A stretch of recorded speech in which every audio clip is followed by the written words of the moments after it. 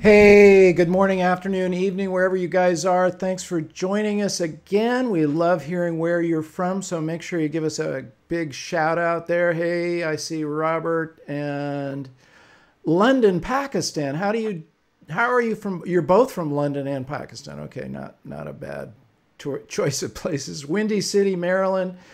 We're going to dive right in here in a second. We've got a very special guest I want to introduce you to, but first I do want to mention that this show is sponsored by our friends at Bay Photo, and here are some of their specials. I mentioned this the other day. They've got this 30% off on the Xpozer, which is a really cool way to make a print that actually hangs on the wall, that kind of floats on the wall. That's what I use as my background behind me. And we always talk about making books. So they've got a 30% off on making books right here. So you know what? Do yourself a favor, make something, make a print. Don't just have these digital things floating around in the universe. Make a print, make a book, make one of these cool Xpozers, and you'll get 30% off. And if you've never placed a first order, your first order is 25% off. So go for it, okay? All right, now our guest today is somebody I interviewed. We look back, it's like been almost 10 years ago. It's awesome to have him back with us. Uh, he's a remarkable photographer in terms of his quality and utter range of work. He has two national, at least two National Geographic covers that I've seen, maybe more. He was a New York Times photographer for six years, Pulitzer Prize winner. He's earned numerous other awards.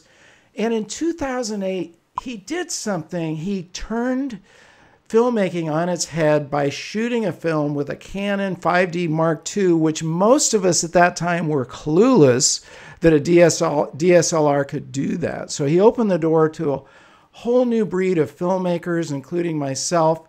He's gone on to direct numerous films, and I'm really happy to have Vincent Laforet back with us again. Welcome back to the show, Vincent. Hey, Marc. Hey, guys. Hey, everybody. Uh, I can't believe it's been nine years. It's a little bit scary. it is. We'll blink again. It'll be nine more years before we know it. So, you know, I asked you this question or something similar to it back then. I'm just going to re ask you. Uh, when it comes to photography, because you're doing a lot more than just still photography, but when it comes to photography, what is it that really drives you? Uh, telling a story uh, sounds like a hackneyed thing to say, but generally you're trying to share something that you have witnessed uh, or that you're creating. Um, you want to share the beauty of it. You want to share the idea of it or the emotion of it. So, you know, generally the story, emotion, or beauty are the three drivers for me, or the emotion. Let's talk about emotion specifically. And mm-hmm. we might want to, why don't we just go to some of your images that you feel are a good representation of emotion and talk about how you got in there. How did you, how did you pull the emotion out of the subject or find it or create it or whatever you did? Mm-hmm.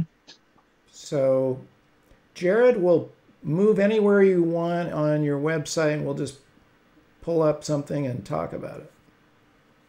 All right, putting me on the spot. Um, let's see. Um, well, we'll go to somewhere that's not obvious. Go to Project Air. Okay.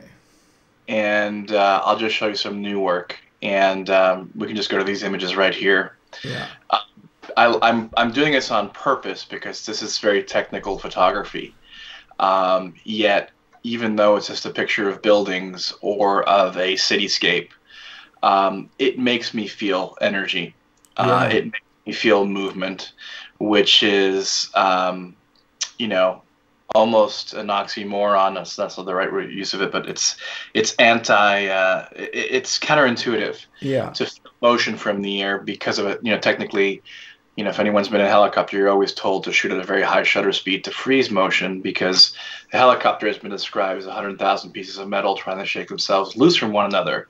It's not the most stable platform. It's a very jittery, loud platform. Whereas yeah I feel in the air when I'm in the air. People always say, "Aren't you scared?" So I'm more scared standing on my terrace, you know, uh, one story or any terrace one or two stories above the ground at the edge even though you know there might be something that comes up to my hip i don't feel comfortable getting too close yet when i'm in a helicopter uh, sitting on the side you know the door open and a harness on i feel like i'm on a magic carpet i feel a tremendous sense of freedom uh, and happiness and energy coming from the city. And you know i thought i'd throw you for a little bit for you know a, a curveball here by showing you this when i'm talking about emotion. Yeah. Because when i look at these images i feel something. And that's the goal. It doesn't photography the beauty of photography is it doesn't have to be too complicated. It can be very complex and very thought through. So you know if you uh, if you look at work of like dan winter who builds his own sets and photographs stars you know it's a very thought through process. Yeah. Um, and taylor's on actually taylor is or was on the show taylor jones who works with dan. So you know he could speak to that about how you know thought through that process as dan will you know build things literally whether they're you know props or sets whereas the beauty of photography is you can just pick up a camera right now and walk outside and go film or shoot something.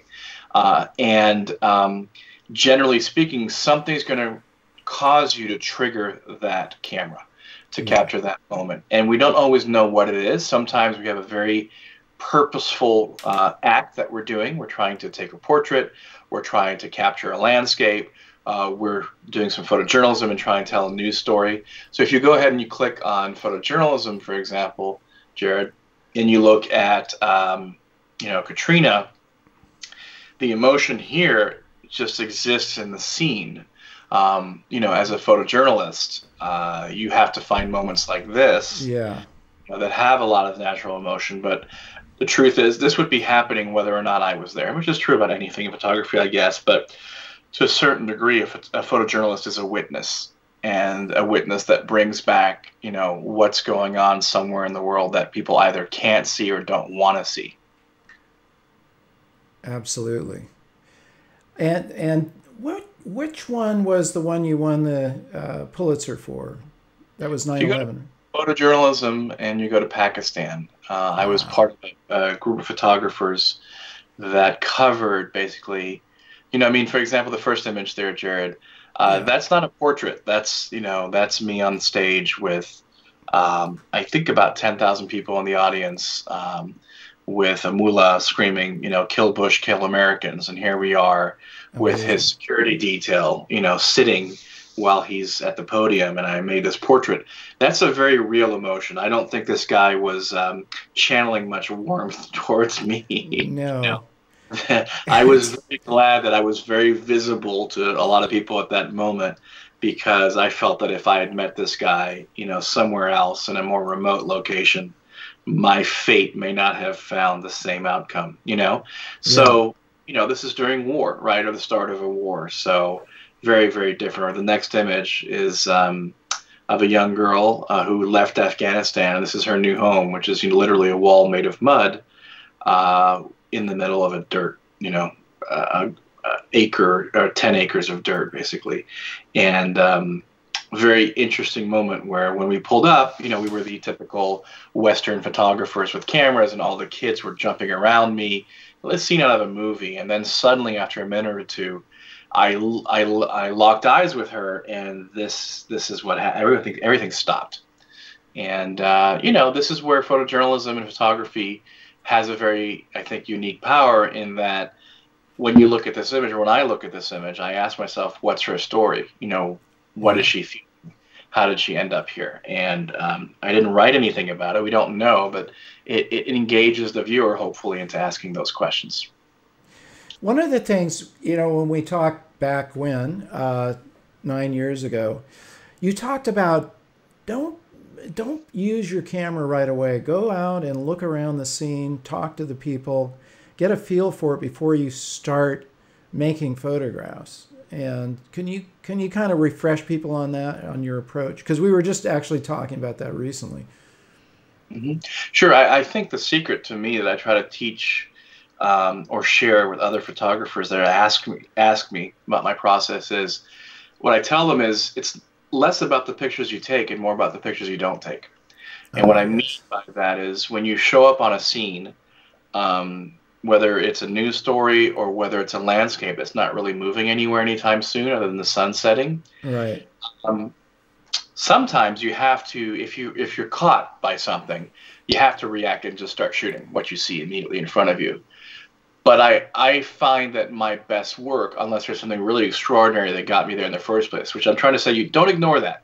You know, so if you're driving in a car or riding on a bike or walking and something catches your eye, go ahead and, and capture that. You know, because that's probably the reason you stopped. But don't dismiss it entirely. But once you've captured that, try to move on. And you know, as a photographer, I almost go through a set pattern of things to think about and look about. And what I do is I move around and I think about what the image is. Sometimes I give myself time. And the original thought I was trying to share is try to avoid getting so locked into taking pictures that you're no longer looking around.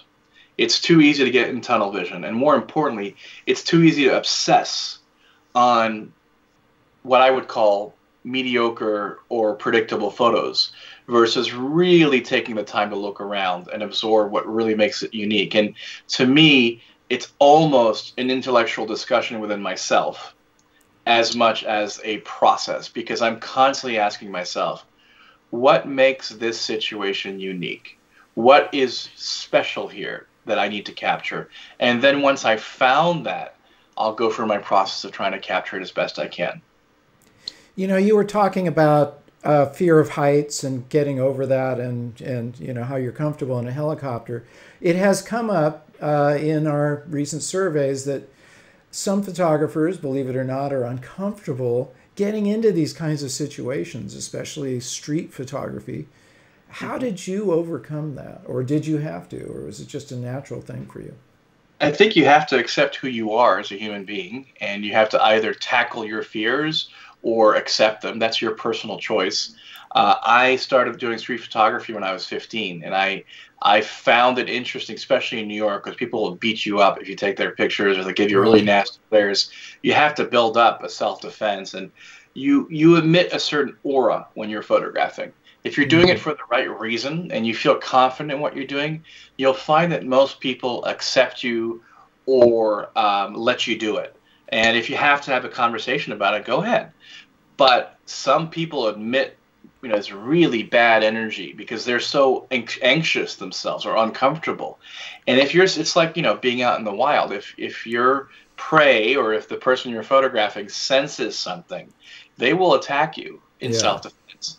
So to your original question you know everyone has different comfort levels. I have no problem going in the middle of a mob photographing however you put me in a room with a star um, that you know gives me 30 seconds to make a photo, I find that highly uncomfortable. I'm not intimidated by stars or celebrities, but I hate having an artificial deadline set on me to be creative. Yeah. So, you know, usually if you guys ever do celebrity photography or CEOs, you're literally told you have between 30 seconds to maybe five minutes. Right. Sometimes three, sometimes it's 90 seconds, and you're not kidding. Like at 90, they're walking off, and that's not something that's very you know uh, fulfilling for me. So I've never gravitated towards those. Whereas some other people will love, you know, portraiture and hate photojournalism. So see what you find interesting, or or see the you, cha- you know challenge yourself to tackle the ones that you find uncomfortable.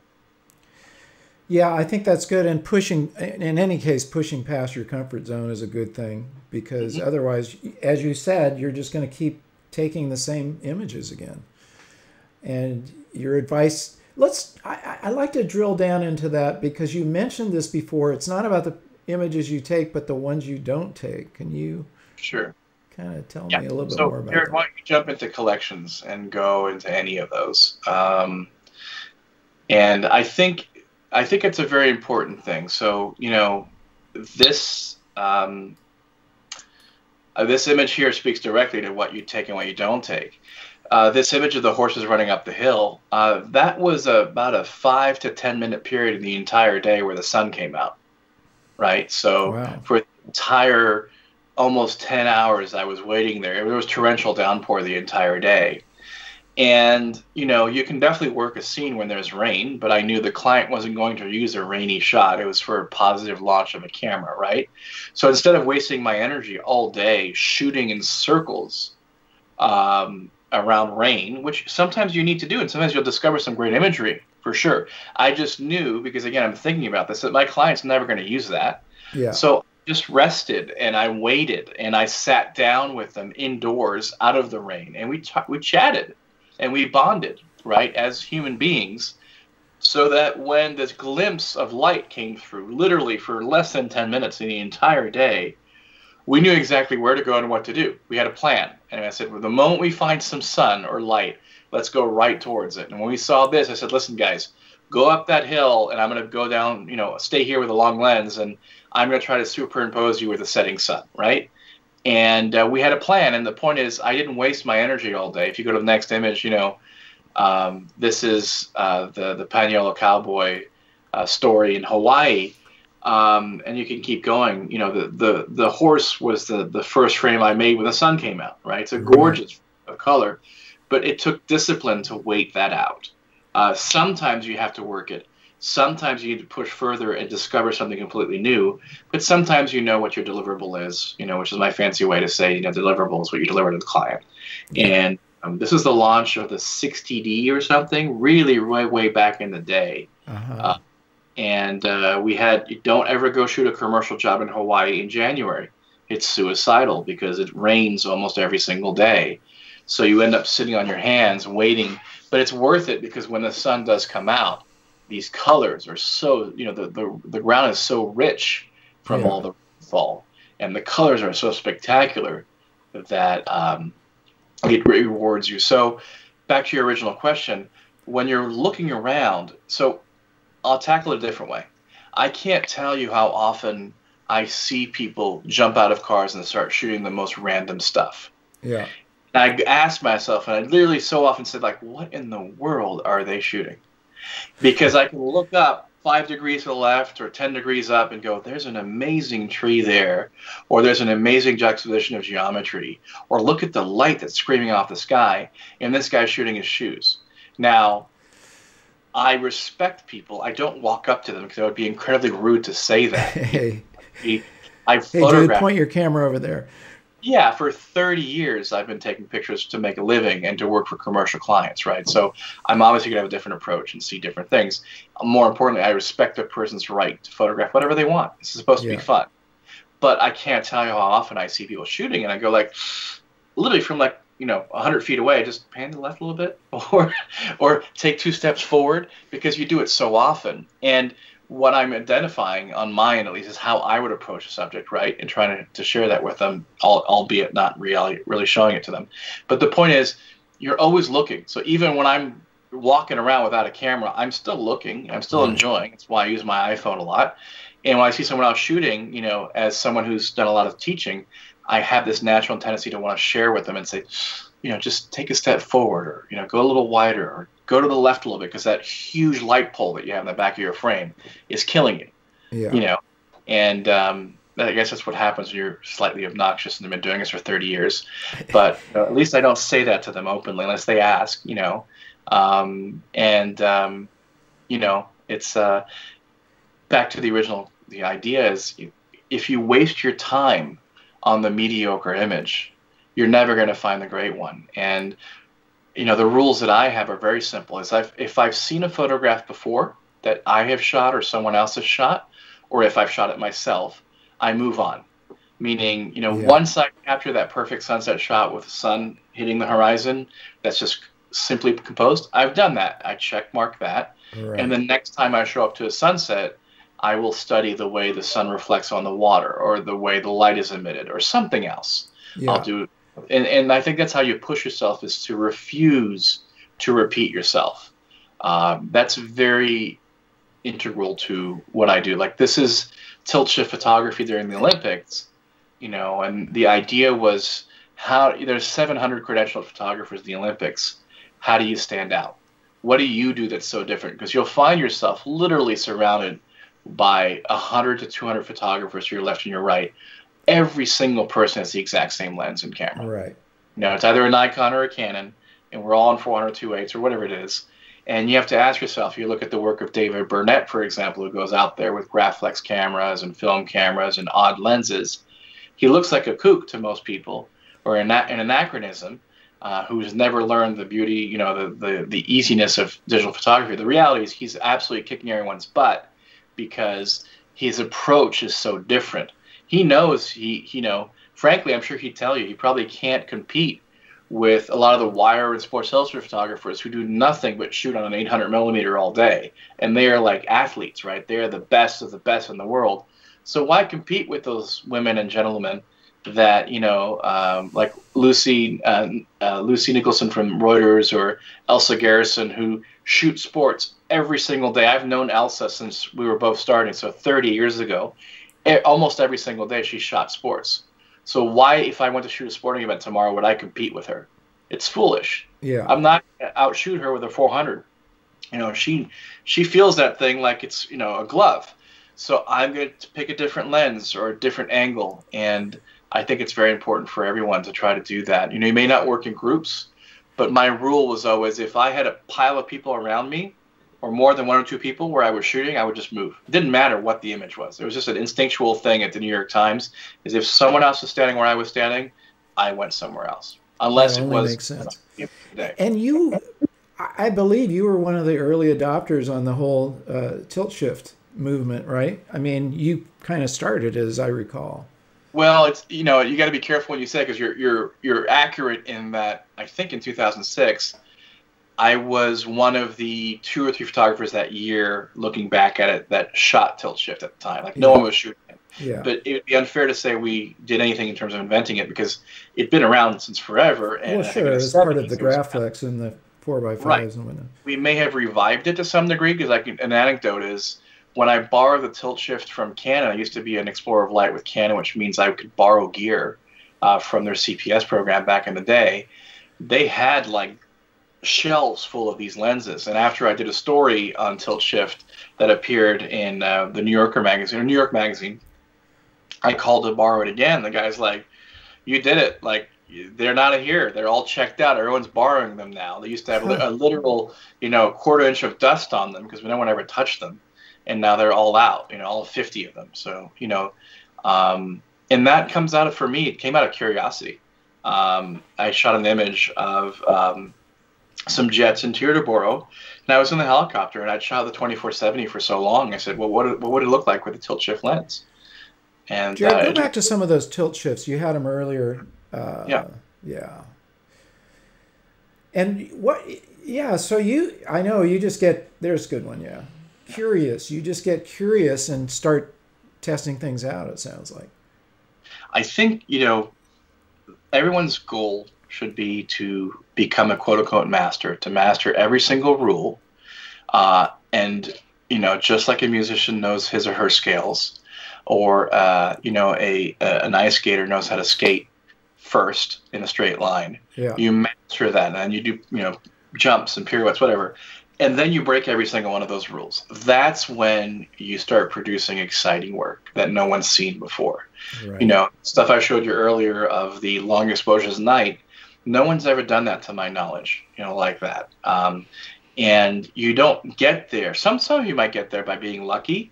I've gotten there out of sheer exhaustion in the Olympics, where I, I put a wrong setting on my camera, and instead of shooting at a five hundredth of a second, I'm shooting a fifth of a second, oh, and wow. I'm getting incredible streaks, you know.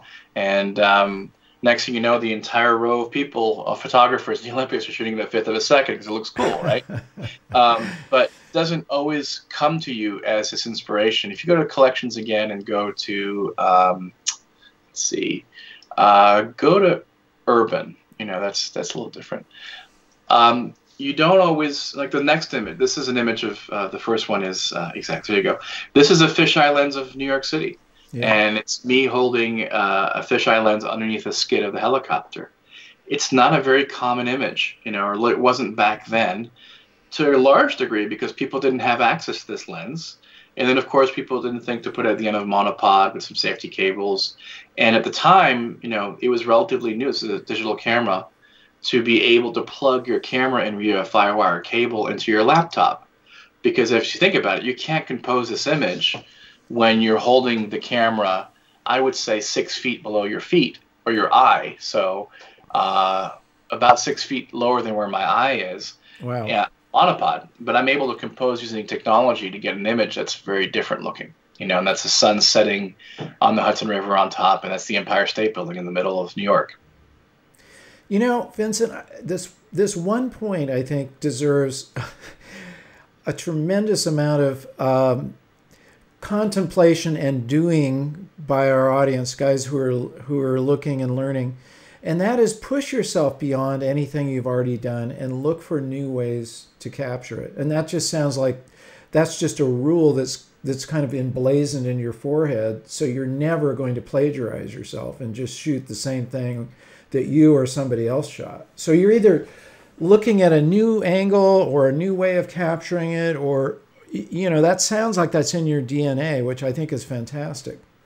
I think it comes from my father and my upbringing. You know, he was the one that would say things like, uh, "There's a very Latin spirit. I'm French." Uh, and a U.S. you know, an American. I'm both, and but my my family, my mother and my father are French, and I would go see my father, who's always lived in France, and he would tell me, "You're far too American." This is when I was 15, and he's like, "What do you mean?" He's like, "You follow the rules. You know, you do everything they tell you to do." And he's like, "In the in France, we have this thing called this the Latin spirit, which says that any law is written, and it's meant, it's therefore meant to be broken." You know, it's it. this kind of anti-establishment way of thinking. And in fact, I mean, I can tell you the whole story. He's like, you know, I want you. He said, I want you to go into this uh, grocery store, and I want you to steal something. I'm like, what? what? He's like, you need to learn how to steal, and you need to learn how the psychology of doing that and controlling your emotions and getting away with it. And you need to learn what that feels like and you know see if you can get away with it. And here i was as you know i think i was 13 or 12 and you know sweating and going to steal a i don't know what i still don't remember. And i came out of the store having succeeded in my mission. He's like okay good. Well that was the easy part. Now you got to go get it you got to go put it back without getting caught. That's the really hard part now that you're mm. guilty and i did and you know the next thing was all right um, I want you to go into this concert venue and go to the front of the stage and photograph. Uh, the one key is you have no credential and you're 16 years old. Go for it. Wow. And we talk about the psychiatry of getting past a security guard. And he's like, well, you have to, you can't walk too slowly because they'll take interest in you. You absolutely can't make eye contact for longer than a quarter second. So, you know, what you don't want to do is you don't want to look away because then the guard will take interest in you. You don't want to walk too fast because they think they're going to try to get past them. You yeah. don't want to walk too slow because they'll think you have doubt. You have to walk at the exact right pace that states, I've got somewhere to go. I belong here and I need to go do something. The Jedi Knight. Quick. Yeah, it was literally like teaching me to be a Jedi Knight. Just a you got to make a quick eye contact, as in you have to acknowledge them, but you have to believe in that this is your purpose You've got work to do. And if they stop you, you have to say, I'm just going to go, you know, I'm, I'm going to the front of stage and just keep going. And if they really stop you, just you ask you where your credential is, you have to react so shocked that, what do you mean, where's my credential? I look around for it convincingly say, oh, it's back there. I'll be right back. You know, and not give in to getting caught. And I showed up on the front of uh, a Rolling Stones concert um, and photographed Keith Richards uh, from, you know, the front row. I snuck into the U.S. Open tennis for three years straight via the players' entrance and photographed it. So, and that's all from my father. Just that's saying, really amazing coaching from your dad. Far too much, and uh, he's not a criminal. Um, you know, he got my favorite story from him is he got pulled over by a cop uh, for burning a red light, and he said to the cop, "Are you sure?" Just, and the cop, you know, he's giving red light tickets all day, was so put off by this guy's, you know, daring and also by how could he said, "I did not burn a red light. Are you? I, I can tell, I absolutely did not, for sure. Are you sure?" And the cop doubted himself and let him go. And my father's laughing his ass off the whole way back. Wow. But that's my dad. So from that comes this refusal to do things the normal way, and and what I would call an abject refusal to repeat myself. I love it. I just do it. I love it. We could do a whole course out of this, Vincent. I mean, you know, okay, so we'll just repeat those exercises. Go to the store, steal. No, no, no! Don't steal anything, please. But no, those are those are amazing points. I had no idea. We never talked about this before. It reminds I me of Cameron Crowe. You know Cameron Crowe's story with Almost Famous when he was 14 or whatever. You guys were the same age. Uh-huh. Busting into, you know, uh, getting a getting his gig at the Rolling Stone magazine when they thought he was a grown up. Same sort of deal. I love it. You're you're learn the rules, break the rules, learn both ways so you're not inhibited by it. Yeah, I mean, being a photojournalist to me is being a walking psychiatrist or psychologist. You know, you are analyzing people and their emotion. Just looking at your comments from Lorraine Spencer, she said, I asked a guy if I could take his picture first time I did that. Turned out I couldn't take it because he was at work and it wasn't allowed, but I got the courage at least. And that's great. You know, go get the courage, build it up. Um, I can't tell you how many interesting people I've photographed who say, like, why are you wasting your time? And this is for the New York Times on assignments Yeah. why are you wasting your time taking my picture? I do this every day. And I would say, because it's really interesting. And I know to you, it's just what you do every day, but to someone else, you know, there's value in what you do and people find interesting, and. I find it interesting. Here's what I find interesting about it. And I said, you know, just go back to doing what you're doing. Forget I'm here. Don't don't act for me, especially as a photojournalist. I couldn't direct people. I would just say, you know, just go back to doing what you're doing. Forget I'm here. And you know, let me do my job and, you know, trust me and um, I can't tell you, you know, how uh, many great experiences I have as a result of that. Because people do eventually forget you, you, you that you're there, and more importantly, they, they sense that aura about you. You've probably noticed some people are really good about being a fly on the wall or being out of the way. My father was a set photographer, which meant he worked on movie sets, Ah. and I started when I was 15 doing that as well. And you're basically the biggest persona non grata on set because you're not a crew member you don't carry cases, you don't contribute to the film. You're just always in the way. So people really don't want you there. They hate the Right. set photographer. And you have to find a way to ingratiate yourself to get the images that they're ultimately going to use, you know, in the magazine or on the poster to promote the film. And it's a very interesting psychological e- exercise. And you're truly not wanted. Uh, You're you're a pain in the butt. And I'm now a director and I see set photographers, and I understand for the first time. And this is like it's been ten years now, but the last thing I need is one more X factor. I don't need someone walking on my set, getting in the way, tripping on something, distracting someone, Yeah. because I have so much stress and stuff that I am controlling. You know, I've got 60 crew members, and I've got five or ten actors. Uh, or other things I'm trying to control that I can't. I don't need more X factors. But of course, I, I treat them as well as I can because I started off doing that. You know, and I'm like, just go do your job. Just don't stand here or there and stay Don't out trip of over any cables. Yeah, and they know that, and uh, they appreciate it. You know, and I'll go out of my way to say, "Do you need something? Can I do something to help you?" And they're like, "What? You're asking me if you can do something to help my job?" no one asks that. I'm like, and I tell them where I came from. They're like, "Oh, well, that's pretty special. That's cool. Yeah, I'd love to get this if you can give me 30 seconds." I'm like, "Absolutely." You know, so You had a great mentor. I think that's fantastic. And your dad. And we all could use somebody to push us into those, you know, past our, our comfort level for sure. Well, there's there's more stories. So, uh, Jared, you can go into the Apple Link work um, and just kind of cycle through that. But, um, you know, I think it's just one image on that one. I can't show too much stuff that I shoot for Apple. Yeah. Uh, you know, um, one of them may be over my left shoulder. Um, if you look carefully, that's all I'll say I'm going to move you, move you around. Okay. in my in my video feed. But I can't speak too much of what I do for them uh, because they, they like their privacy. But um, I lost my train of thought about what I was going to say about oh, my father. Yeah, so he is the nicest. My dad and I have had one fight in 45 years. So Unbelievable. give you an idea, right? He's nicest, easiest go. As much as he sounds like a kook, he's really a very cool, down to earth guy. And but when I started photography when I was 15, I remember clearly. Um, I pull. I gave him 30 original slides from the month. He's like, you know, take all the work you've done this month, and pick 30 slides. And I handed him 30 slides, and he took, you know, 10 slides on one side, and he put 20 slides on the other side. He opened his drawer up, pulled a pair of scissors, and went right through 20 slides, destroying them instantly. Whoa. Now, you might feel like this guy is like this, the harshest guy in the world. He's not. He really isn't. But he did it once in my life. And I said, because, you know, these are originals. "Wha- What have you done? Like, what happened? And he's like, those images are not sharp. they're out of focus, and they're not well exposed. I don't want to. I don't want to see that. You know, you're you're a, a craftsperson, uh, craftsman, whatever, and you need to technically be sound, if not excellent, and then you know that won't get in the way of you telling your stories, and that helped. As harsh as that was, um, I also photographed like a little duck you know, the black and white fella made a print, and he put it on his wall, cigarette in it on a sharpie, right? So he tried to steer me in a passive aggressive way. And that, tough that duck, love.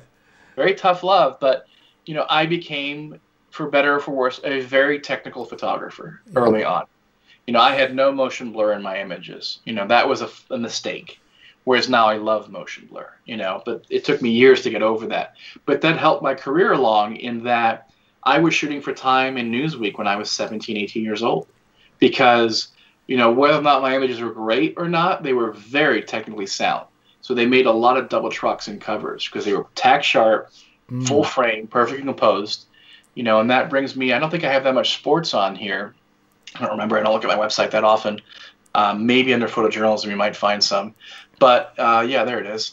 Um, all the frames you see here are shot full frame in camera. There's no cropping and mm-hmm. that went to my my first job out of college. You know, first I photographed for the wire services for AFP and Reuters. I photographed Michael Jordan's last five seasons, but wow. um, I then went to work for a place called All Sport, which became Getty Images, and there was this editor called Daryl Ingham, and you you were shooting on chrome. So imagine any of these images yeah. shot on transparency film.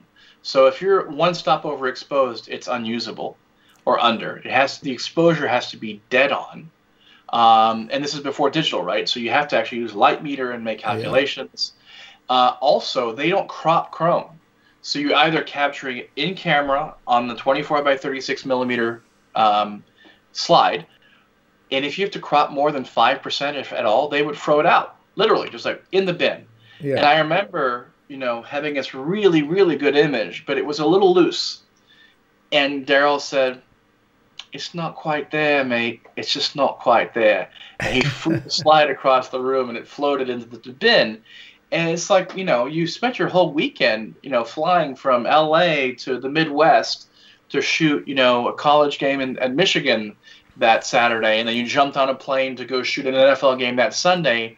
And then you took the, you know, a 6 a.m. flight or a last flight available to get back to LA to process your film by Monday. You get the idea. Yeah. So you're utterly exhausted come Monday night, and you got this guy telling you, it's just not quite there, mate. It's in the bin. And you just want to pull your hair out. But that taught you the discipline to say, all right, if I'm debating between a 400 millimeter or a 500 millimeter, I'm going to go to the 500 mil even yeah. though my chances are 300 mil to 500 my chance like that frame right there is, is full frame and you can see the bubble coming if you can't see it on this screen. There's actually a bubble of spit coming off his his uh, lips. Oh yes. And um, you know you don't get that until you push yourself. Now i'm not saying that tight is always right but that is one of my rules. You know when in doubt go tight. So go tight. one lens tighter or go two lenses tighter. Don't widen out unless it really adds to your story you know, um, I tell people to treat the frame like it's um, on your wall in a frame. And you have to include stuff that adds to the image, and you have to exclude everything that distracts from it. You know, and uh, you got to do that in camera, not in post. Well, you know, I think this is from the film days. As you said, we had to crop in the camera, and I think it's still really, really good advice to do all your cropping in your camera and your best friends are your feet, right? You got to move. Yes. You can't just stand in one place. Well, this image right now, this Olympic, this was the the, the gold medal uh, winning um, flip. I don't know what the technical term is, but wow. that is composed. So with my feet moving inches up and down in the press rows oh, to man. find that angle. You know, obviously I'm going to track them left or right, but I was very keenly focused on not having any desks on the top left, any photographers or coaches on the left or the right.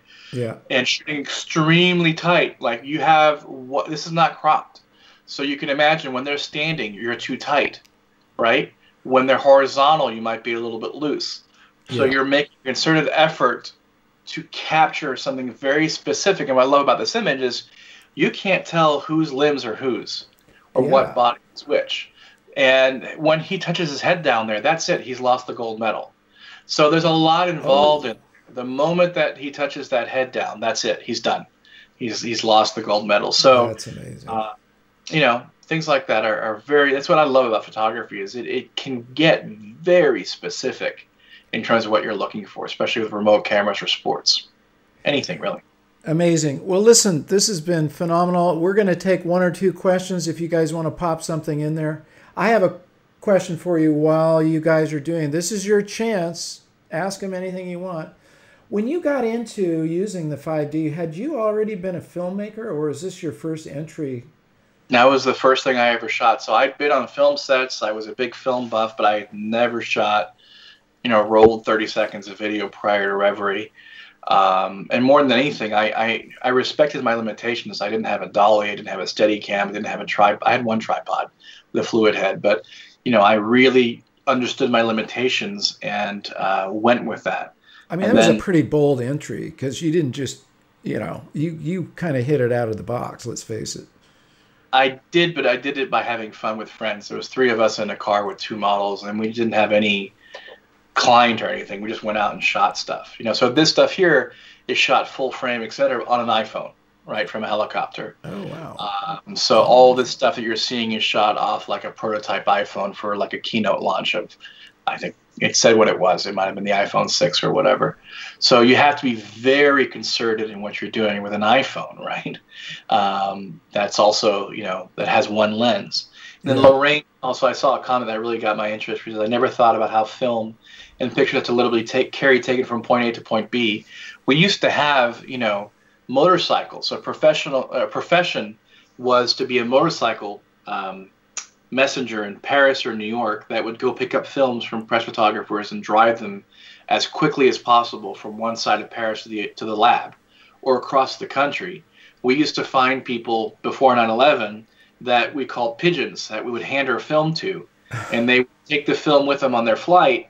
And when they landed, there'd be a motorcycle guy or someone to grab the film to bring to Paris Match or whatever. Yeah. Uh, that was a very big deal back in the day before digital. Uh, so yeah, there's there's a lot of history there. That's very interesting. Amazing. Well, you Oh, listen, you've given the us. there was literally, uh, if you don't know the story, it's one of my favorites. Is Yeah. pigeons that you'd put rolls of film on their feet in World War II. And there's a famous story about one of the pigeons that was meant to go to London that actually went towards Berlin by I forget the name of the photographer. Uh, you can look it up. And uh, he showed up, you know, with the American troops and saw his images in a German newspaper. And the irony is they actually credited him properly in the newspaper. So they, when they say, you know, uh, uh, in French, it's a pigeon voyageur. It's a, it's a pigeon. Uh, they literally were pigeons that you'd put on the on the little anklet, um, a roll of film, and send them out. Uh, messenger pigeons. Uh, anyways, I'll, I'll start That's- digressing. I love That's stories like that. history I didn't even suspect. And I'm going to look that up because that's a fascinating story. Look, there's the pigeon. There you go. There's there's a photo. I found a photo of, There's the Air 1.0. and it's even got a camera on it. This Yeah, is a that's- that I a had- camera. An, an aerial. That's our first drone right there. Okay. Well, Vincent, this has been amazing. Is there any kind of final? You've given so many great points, or anything you want to leave us with to elevate our photography to the next level? Well, Jared Temper says, for my part, cropping and editing teaches me where I missed it in camera. Then I drive myself to do better next time. That's absolutely right. It can be a journey. Um, and what I would recommend you do is to crop with your feet, as Marc said. So I want you to be focusing to an intensity level that you may not be used to, like obsessive OCD, crazy tunnel focus, like think use the force Luke uh, when you're looking through that frame and move. You don't have to move your feet. Often it's literally leaning forward, crunching yourself down, extending yourself, leaning to the left or the right. Use your feet to find exactly where things line up and feel perfect, or move you with your feet because you simply cannot correct a lot of stuff in post. And you should not be pressing the shutter until it feels perfect in this frame that you're looking in. Perfect. And once you get it, you move on to the next image. And when you go to your computer, You should be doing a little saturation. Uh, if you want, a little levels for brightness and darkness, maybe some color temperature. If you go to the Air series, Jared, Project Air, and you go down to New York, uh, these are all any yeah, New York is fine. Uh, all of these images, those are full frame images from you know a moving helicopter. There's yeah. no and there's nothing done other than saturation and color temperature of these images. They're straight out of the camera. People look at this, how much Photoshop do you do? And my answer is 20 seconds of you know lift and stamp um, so that's discipline. That's for me. Yeah. That what makes me happy to have captured it like that. Awesome. Well, listen. Thank you once again for joining us. We'll have to make it back uh, sooner than nine years from now because you've got yes. a lot to tell us. And uh, once again, it's a pleasure having you on the show. You've taught us a lot. In fact, this is you guys. We're going to take this apart and really work on it because you've given us a lot of really practical, you know, steps to take, not just uh, theoretical stuff. Literally steps. I love that about just moving until, and don't press the shutter until it's absolutely right. Thank you again, Vincent. My pleasure. We'll, Thanks, guys. We'll, we'll be in touch. And you guys, that was a full meal. You can digest this over the weekend. You can practice it. Go out and make photographs that you've never made before. Break some rules I'm not going to advise you to go steal something and put it back, but you know, in any other capacity, maybe you can just think, what have I never done before? What have I never played around with and tested? And try that. But also, it's about knowing exactly what you're doing with that camera. Knowing it, as he said, you've got to know what you're doing before you start bending and breaking things but don't be afraid to experiment. This has been really inspirational. So, a couple of things before we wrap up. Uh, thank you guys who have taken the survey on participation. Super helpful. If you haven't taken it, will you please do so? Jared will put the link in there. Um, you know, it's about being involved and participating, and that's what AYP is all about. So, you know, if you don't want to do that, that's fine. But if you do, we've got something for you to do that will help us and help your other friends in this community. Help me, help you. Um, I don't think there's anything else right now. We got a new show we're going to try out, I believe, on Wednesday, which is photography news. We're going to actually bring you news about things that are happening. Like, for instance, Hasselblad released or just announced a new digital back. Um, it's coming out later in the month that I'm pretty excited about because it will fit on my Hassi. And anyway, we're going to talk about different things. People we've interviewed, guests, their news, anything that you guys come across that's news, definitely let us know. That's going to be on Wednesday. Um, Jared, anything else? Did I leave anything out? No, I think that's pretty much that. Um, I know that we didn't quite get to some of the videos we had talked about doing on uh, Monday, but definitely still send your photos up on AYP Club. We yeah. will do a critique episode soon. We'll uh, things didn't quite work out this week, but we that's something we really want to do. Absolutely. Um, and like Marc said, if you've got news, uh, shoot it my way. I'm going to be compiling, you know, a list of news articles. So if there's something that you see that catches your eye, um, let us know. Even if we have it on our list of things that have happened, that means you're interested in hearing about it, and other people might be too. That's right. Okay, well, listen, you guys, thanks for joining. Make sure you subscribe if you haven't already done that. Leave your comments. I read every one of them, I usually respond to them all. Share. And last but not least, say this with me remember to get out and capture your own images of life. Take care, you guys. Love you. Stay safe. Stay well.